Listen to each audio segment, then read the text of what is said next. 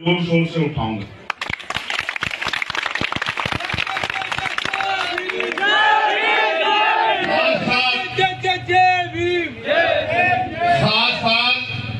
मैं आपको ये भी विश्वास दिलाता हूँ कि यहाँ से जाने के बाद हम प्रेस वार्ता करके प्रदेश के मुख्यमंत्री का ध्यान भी अवगत कराएँगे। हो सकता है लखनऊ में रहते उनका ध्यान अवगत ना करा रहा हो। हो रहा हो इधर के हज़ारों लोग, लाखों लोग की ज़िंदगी से खिलवाड़ होने वाला मैं कहता हूँ, सरकारें किसके लिए? जनता के लिए तो है ना?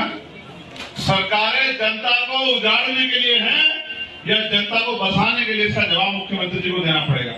और अगर मुख्यमंत्री जी नहीं जवाब देंगे तो हमारे लोगों को भी सोचना चाहिए कि हमें इनको कैसे जवाब देना कब तक गुलाम बने रहोगे? कब तक पिछलकू बने रहोगे? कब तक इनके पीछे खड़े रहोगे? कब तक इन पर विश्वास करते रहोगे? ये भी आपको तय करना है।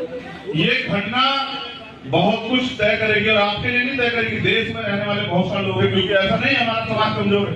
पूरे देश में। ये सबकी आँखें खोलने का काम करेगी कि ये प्रोजेक्ट जो है हमें उजाड़ने के लिए, बसाने के लिए। लोकतंत्र में सत्ता की ज़िम्मेदारी थी कि वो अंतिम व्यक्ति को रोटी, कपड़ा, मकान की व्यवस्था कराएगी। जो हमने अपनी मेहनत से अर्जित किया, उसको लूटने के लिए सरकारें काम कर रही है। हमें देने का काम नहीं कर रही। जो पैसा हमारे हिस्से का आता बजट में उसको